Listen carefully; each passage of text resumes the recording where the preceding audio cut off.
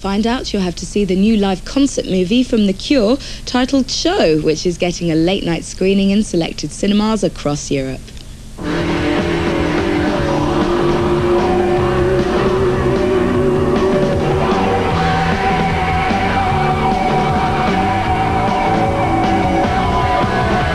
We had the choice, obviously, when we were toying with the idea of making film, to, to make it something more than a concert, you know. To, um, but in the end, I'm glad that we've decided just to, to make it purely a concert film.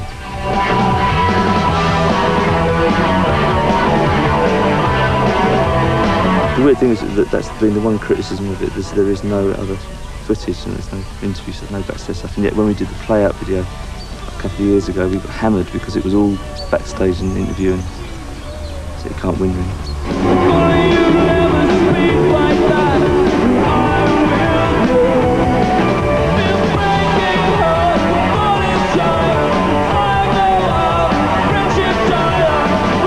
Best parts of the, of the film are, the parts where we're oblivious to the cameras.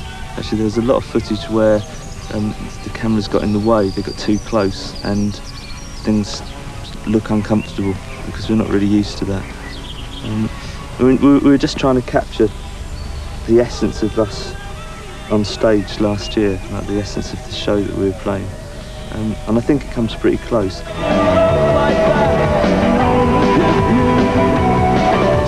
Film that will be enjoyed by people who like the group. I don't think we ever expected to reach an audience wider than we've already got. But it's a record of, of, a, of a lineup and, a, and of a part of the group that's, that's now gone. But I think maybe in like five years' time, it'll, or even longer, it will bear closer scrutiny. And people will probably enjoy it more because there'll be distance from it and they'll think, oh, that's what the Cure were like.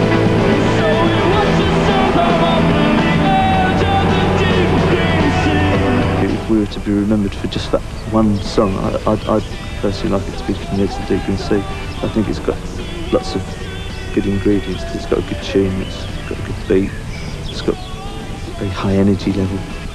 The words rhyme.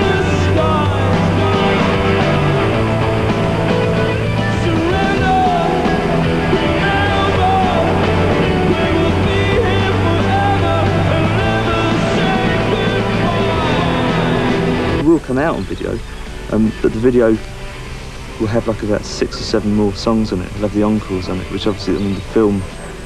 Another thing was decided very early on was that it wouldn't exceed 90 minutes because I don't think you can hold someone's attention in the cinema for more than that unless it's a particularly gripping story, which is one thing that a live film isn't.